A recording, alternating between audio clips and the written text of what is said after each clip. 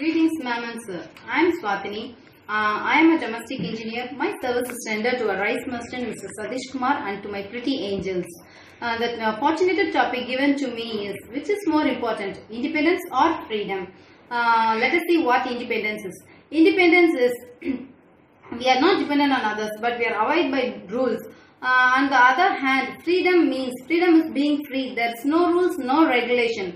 Uh, freedom enables us in personal liberty, ease, to, ease of movement, self-governing, uh, and uh, uh, and I feel that freedom uh, lacks in humanity and discipline, uh, and it, it leads to a negative vibe. Uh, wherein on the other hand, uh, independence boosts us up our uh, strong mind uh, and we can live our life with a positive vibe. Uh, in certain situations, we are pointed or cornered uh, due to the rules abide by the independence. Uh, uh, and in that situation, we would uh, there, there would be a learning uh, and we and we would know how to um, correct it uh, how to correct it and we can live our lives uh, lively uh, and uh, enjoy flawlessly um, uh, independence uh, to conclude uh, i prefer that independence is more important. The greatest gift we can give to our children are uh, roots of responsibility and wings of freedom.